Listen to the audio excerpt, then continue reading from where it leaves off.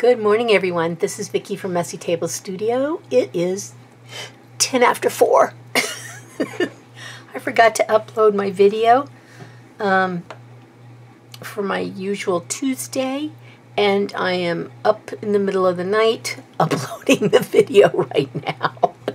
I did edit it yesterday, but on a Monday.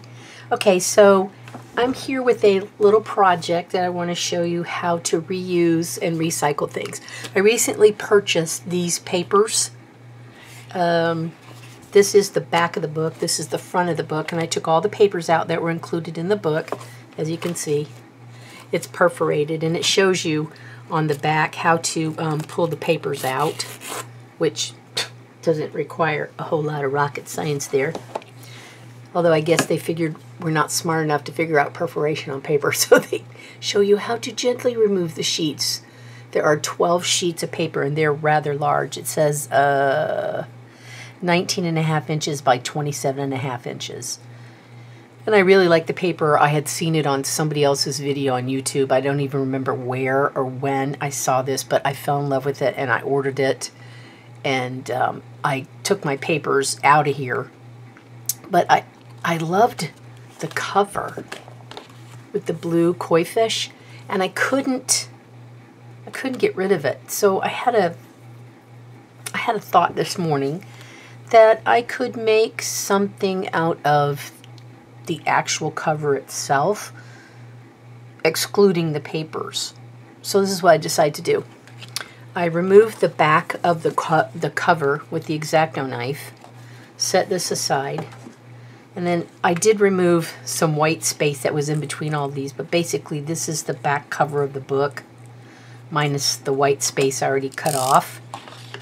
And I've decided that I can make books out of this. This will not be made into anything. Uh, I might use it for something later and then cover up this side. We'll see. All right, so what I've done is I've cut this off this is a rather lovely piece of paper. And then this one, I'll set these aside. But my main focus here are these itty bitties. Now these are prints of the paper that is what was contained in the book. And these are going to become books. So I'm taking the ruler and I'm just cutting,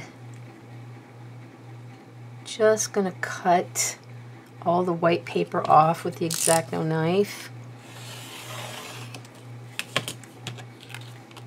Oh, didn't get quite hard enough down here. There we go.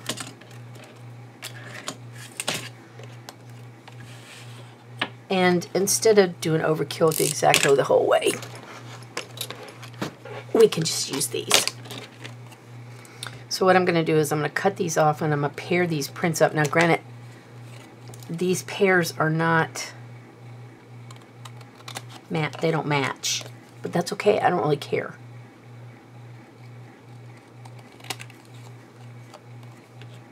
So what I was thinking is I would pair up these two blues together and I have three green.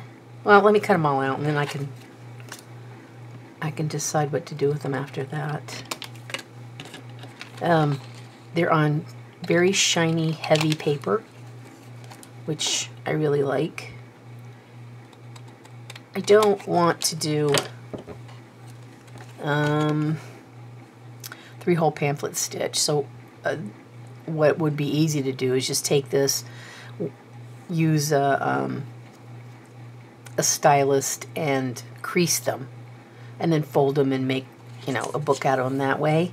But I really like doing something different.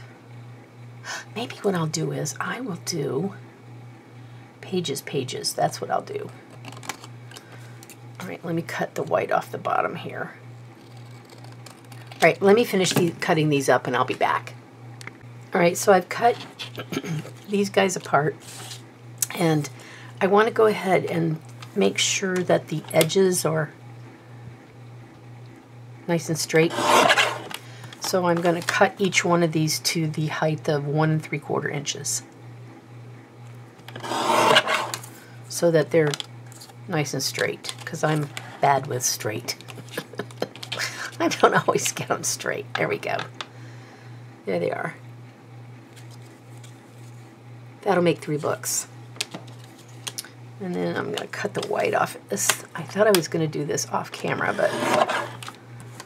And no, these don't match, but it's the way they arranged it on there. So I just take a sliver off this end, and I flip it around, and I measure it to one and three quarters, and then cut it off to make sure that it's all the same size, because it is easier for me to do lots of these at the same size than it is to have one that's one and a half and then one that's two inches. It, it, it just, uniformity is easier for mass producing than if you just do one thing at a time. It's just, it's a time factor. Okay, so let's cut this off here. Actually, let me do it the scissors because it was more accurate than me trying to do it with the paper cutter. And then I can trim the ends off. That's no big deal. All right, so let's just a little trim here to make sure it's same size and one and three quarters. Trim a little off the end because I want the whole piece to be one and three quarters in height. So, out of that paper pack that I bought, this little book, I'm going to get extra value out of it because I'm going to have one, two, three, four, five, six little booklets that are, let's see, I don't even know what the length is. Length is, let's see, uh, they're one and three quarter inches tall. And then not quite. They're just a sixteenth of an inch over two and three quarters. But I don't want to trim that off because if I do that, that means that I have to trim a little off this end, a little off this end, and honestly, it's not worth all that effort. So I'm not going to do it. All right. Um, what's next? Okay, so this is the way I do the other books that I've made in the past. We have this fancy thing called a mouse pad. I take the mouse pad I put this on it. And I get myself a stylus with one of the smallest balls. And I just run it down the edge here. I don't even use this on a board, you know, on one of the boards that has the lines on it. I don't even bother. See, and you got a nice little thing right here. It does a nice little crease.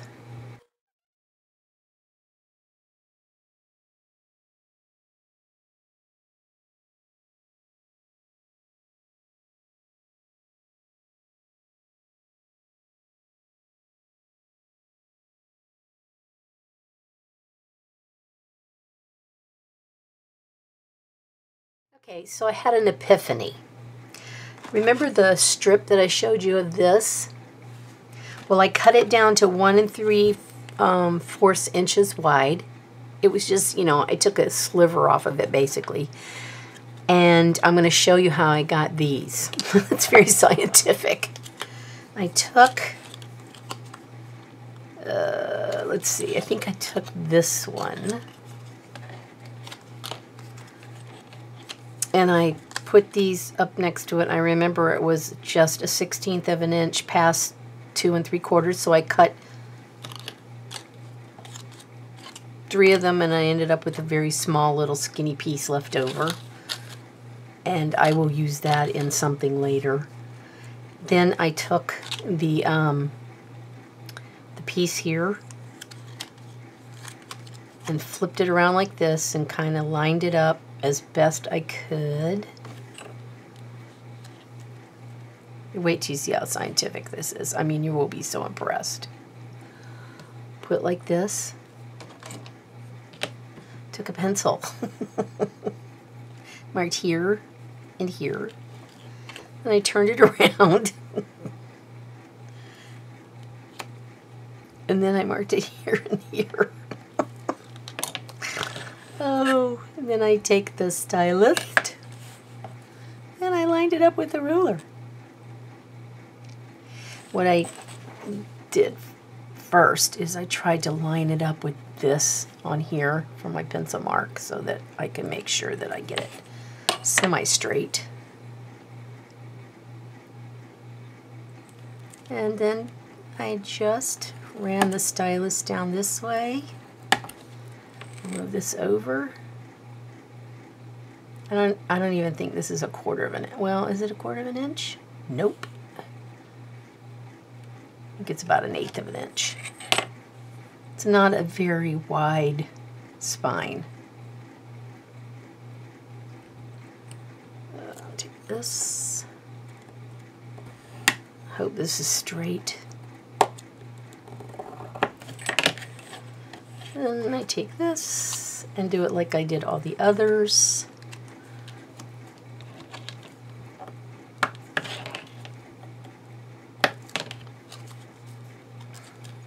Just roll it over a little bit to where it's creased.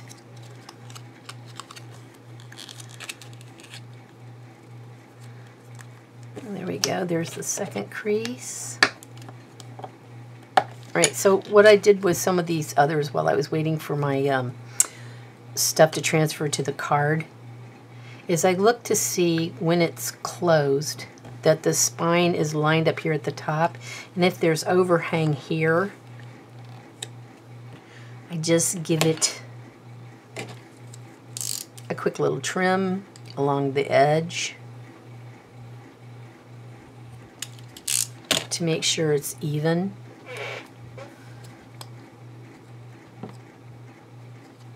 so that it's even on both edges when you close the book. So here are the three from the little strip. And then I have this left over. I'm not sure if I want to do a large piece out of this or if I want to continue to make all these itty bitties. I think I might set that aside to see if if I put these into the Etsy store what sells. And if they don't sell, then I'll save that for something else later. It's no big deal. The difference between these and these others is these will have the color spines and these will have the white spines. Now I could color them with something, but I'm afraid that if I do that, I'm going to leak it onto the rest of it and ruin the covers, so I'm not going to do that. All right, so the next part, I've ordered some rice paper off of Amazon. And I'm going to put rice paper in these to keep it Japanese. And um, so now I have to wait a couple days until the rice paper comes and then I'll be back to do the rice paper insertion in here. In the meantime, I'm going to take scraps of white paper and I'm going to try to figure out the size that I need to insert into the book. So I will do that off camera and then come back with the measurements later. Alrighty, so I had to wait 24 hours before working more on this video because I ordered some rice paper to put in um, these books that I've been making. And this did not go the way I thought it would. Oh, please excuse the Roomba is beating down the doors as it works its way down the hallway in the house. Okay, so let me go get that rice paper.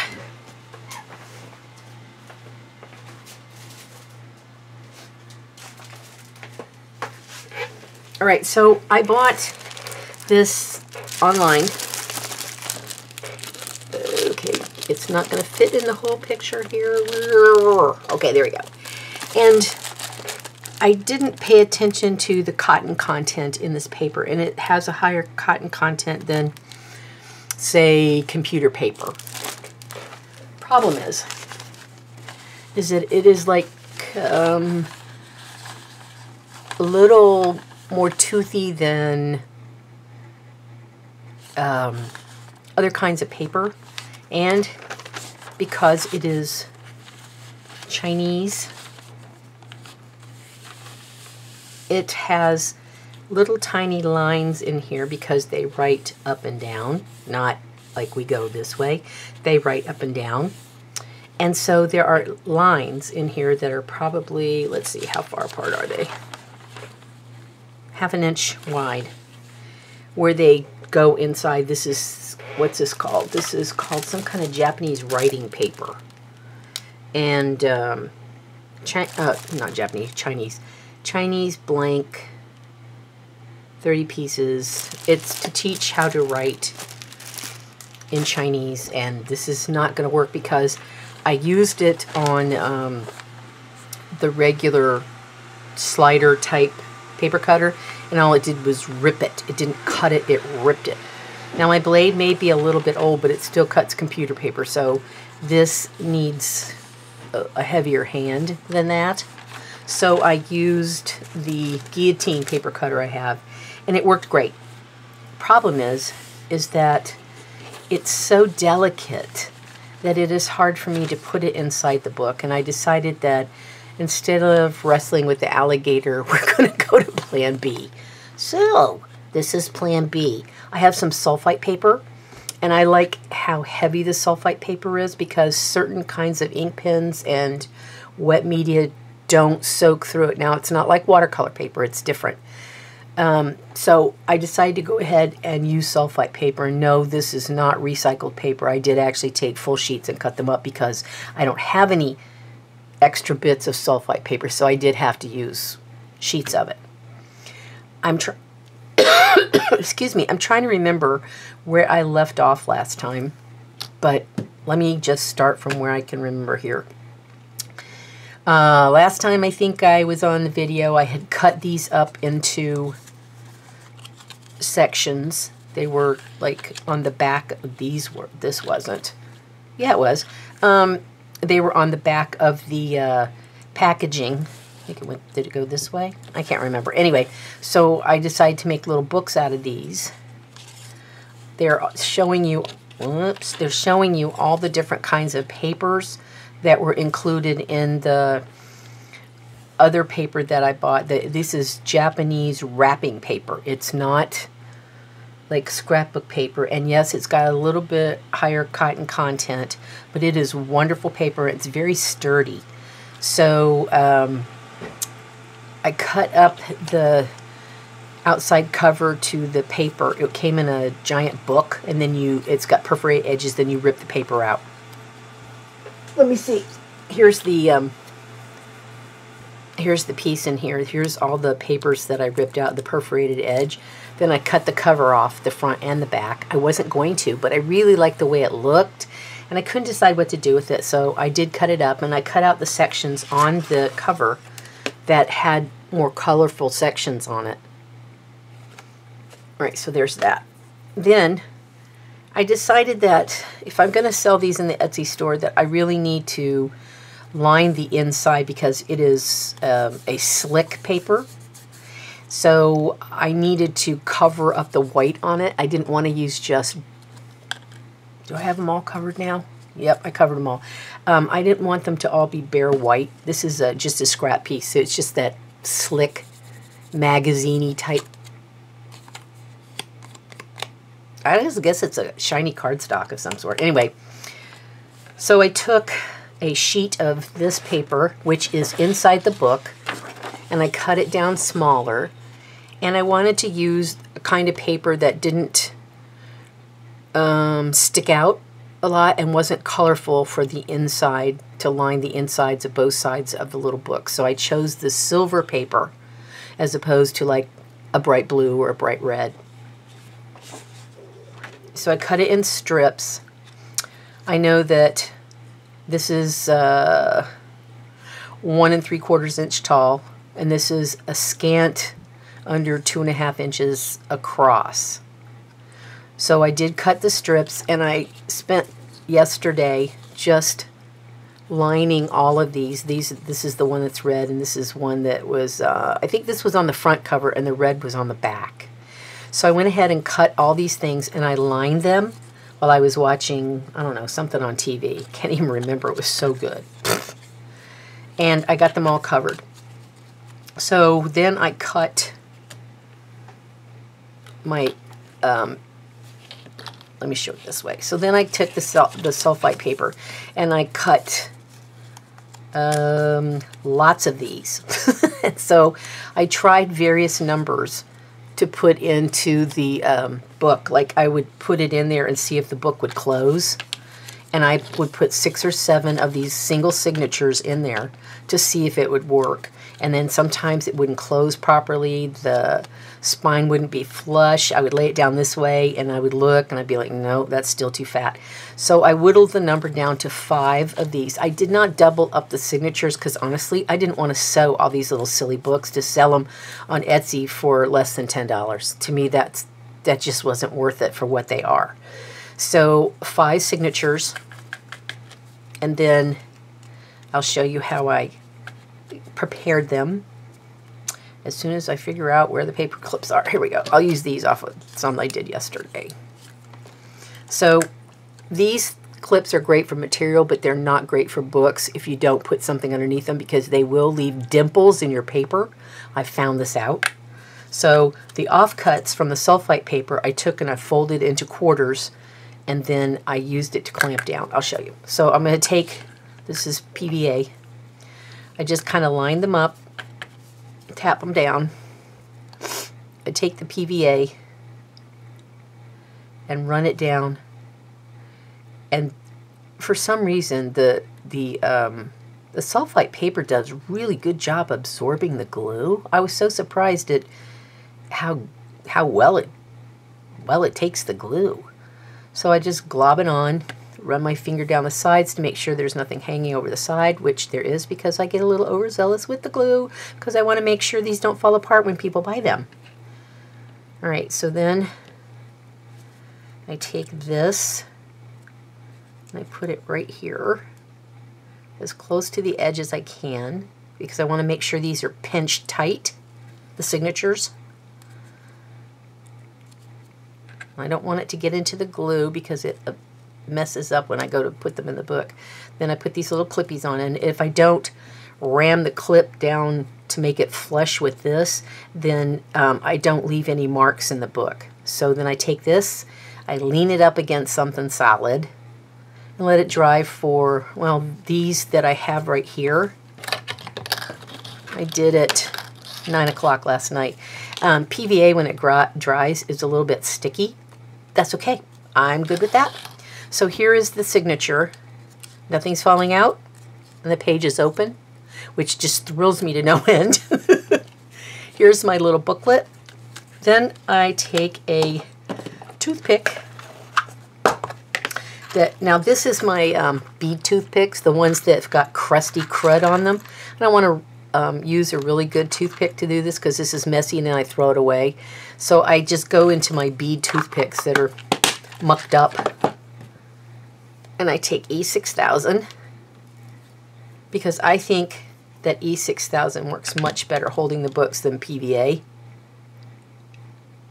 I just put a little blob on the end of the toothpick and then I just kind of gently guide it down the side. I do try to make sure that I don't leave any goo on the sides because it will glue to the covers and ruin them because I've already ruined one.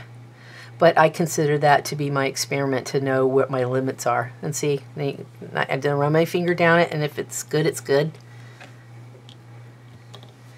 I lay the book in the empty spot where it's white down the middle. That's the spine. I found out I did not need to cover the spine. It wasn't worth the trouble for these little books. I put it in there and I make sure that it's even at the top, even at the bottom. And yes, there's a little bit of overhang here, but it'll be fine. I'll take care of that later. So I make sure that it's pushed in flush against the back of the spine. Then I open it flat because I know people want to open the little books. I mash it down hard. Then I take my little contraptions here again. And this time, this is only to make sure that the book sits upright while it is drying.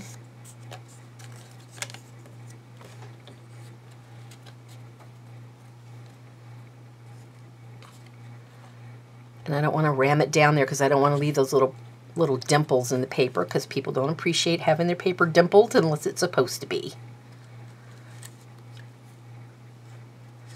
And then I mash it down again and I lean it up against something on the desk so that it will stay balanced.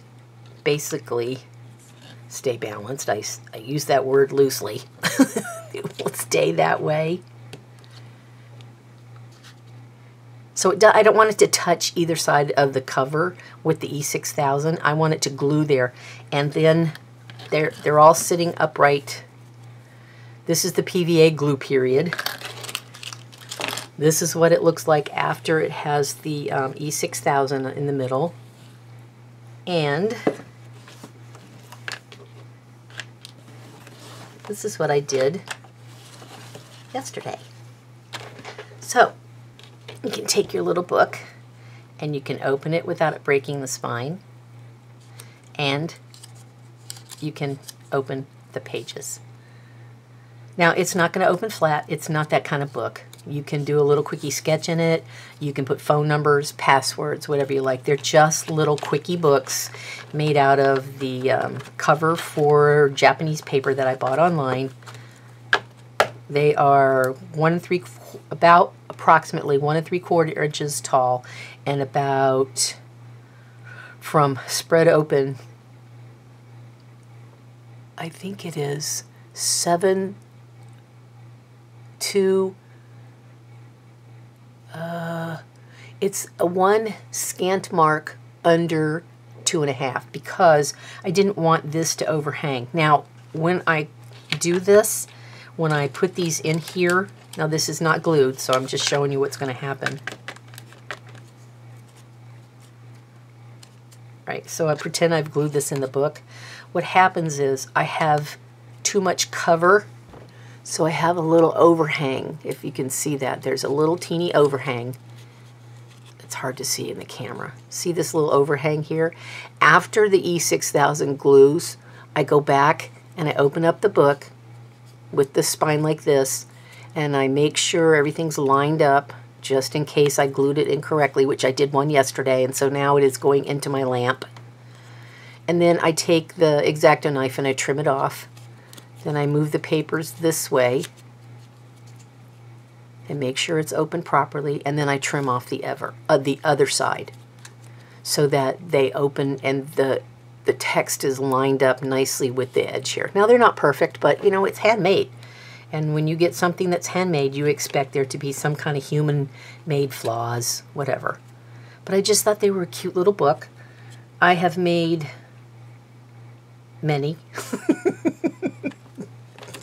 Let's see, I've got one, two, three, four, five, six, seven, eight, whoops, eight, nine, ten, eleven, twelve, thirteen, 14, 15, 16, 17, 18 here, and then I have all these that are um, ready to cut the paper for these and then these will be next. Now I'm I'm trying to decide do I want to create a larger book with this or do I want to make the little mini books? I might make a mini book with a thicker spine so you get a little more paper in there and those might be hand sewn I don't know. Um, I will do one and experiment with it. Like this little guy right here. He did not go well. He opens fine, but when I cut it and where I glued it, I did not glue it and make sure the bottom was lined up. So his the bottom part of the book should be trimmed off with the X-Acto knife, and then the top part's too short. So he was scooted too far this direction inside the cover. Um, I don't want to trim them all up with the X-Acto knife since I don't really cut that straight. Even with the ruler, I get it wrong. So um, he might just live in my lamp of books that are rejects, but they still are books. So that's that guy. Alrighty, so I think that's it for showing you how I make these little books. And um, I imagine, I'm thinking I have tons of these envelopes that I made, oh my gosh, years and years ago out of scrapbook paper. And I really like them. So what I was thinking was, when somebody buys the book, that I will slip the little book along with my business card in here. And this is the way people will receive the little book is inside this. Now they'll be different colors. They won't be purple because these are slated for um, another project. But I thought about putting these in some kind of a little envelope presentation because they're just so cute and they're very Japanese, except for the sulfite paper, which is, who knows, it might be Chinese. I don't know these days. Right here are two that I finished, and I posted these on Instagram. So here are two that I did yesterday as my test cases. And I did glue paper on this side to cover up where it had ripped or it had stuck to this side, and I didn't like the way it looked, so I did glue the paper on both sides. I'm not doing that in all the books, although I say that as I'm looking at this. we shall see. Anyway, so then I took some of my doodle art and I put it on the book because it was so blue. I was like, my, you know, will anybody buy anything that looks that plain? Excuse me, I have a frog. So I glued this on the front. And this was on Instagram. So if you see this and it looks familiar, it's because I posted on Instagram yesterday or day before yesterday. I'm saying that as I'm filming this on a Thursday morning at 4 o'clock in the morning. This will be posted next week on Tuesday. Hopefully. So I just took these. Um, I might take these others. And I did this to make sure they stay closed. I have a book press. My husband made me a larger book press than the little bitty one that I made months ago. And I might just take these and all, lay these all flat and put them in the book press for about a week and see how they do in the book press. I'm thinking about selling these um, in the Etsy store, as I mentioned but it'll be in a grouping because, to be honest with you, to mail one thing like this in a first class envelope, if it's not flat enough and the post office can't shove it through their little thing that says letter or package, then it costs me $4 to mail one of these. Well, if you're only charging 5 to $6 for it, it's not worth it for all the time time I put into it.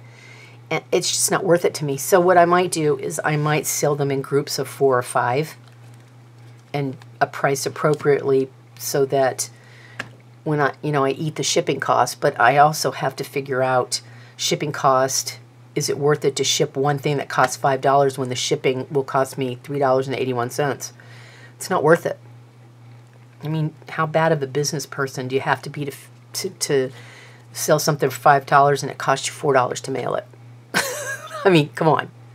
Anyway, so this is what I've been up to for the last couple days. And when this paper runs out, that's the end of these books. I have no more of this cover. Uh, once this red, I think that's it. Once this red part is gone, this is gone. The idea is gone. So that's it for me for today.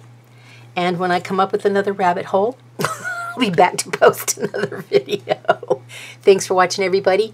Bye-bye.